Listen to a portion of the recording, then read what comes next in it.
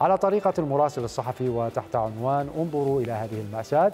طفل يوثق غرق شوارع الهرمات في الموصل مع أولى زخات المطر لنشاهد. السلام عليكم سيداتي وسادتي. هذه منطقة الهرمات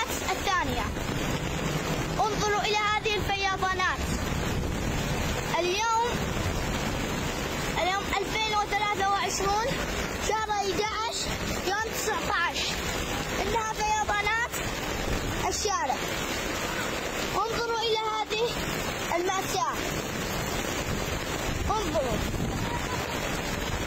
انظروا إلى هذه المأساة.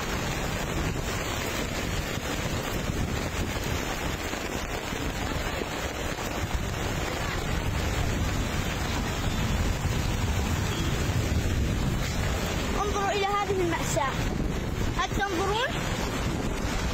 انظروا إلى هذه.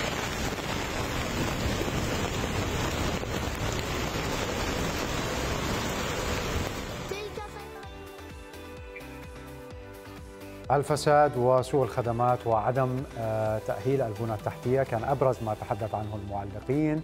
علي الموسى. انطوها عطلة مثل كل مرة لأن سيادة المسؤولين يعرفون كل زين تقصيرهم وفسادهم وأن البنية التحتية لمدنهم تغرق مع أبسط زخة مطر. كان استحوا صورهم مالي الشوارع على مود الانتخابات. أبو يوسف الموصل صارت أم الكوارث مو مرة بعين يوميا تصير بها كارثة. أهم شيء المسؤول قاعد بقصر والمواطن قاعد بالطين والمطر.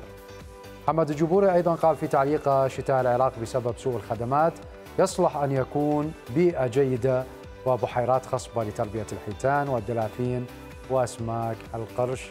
مع الأسف على الأنظمة الحاكمة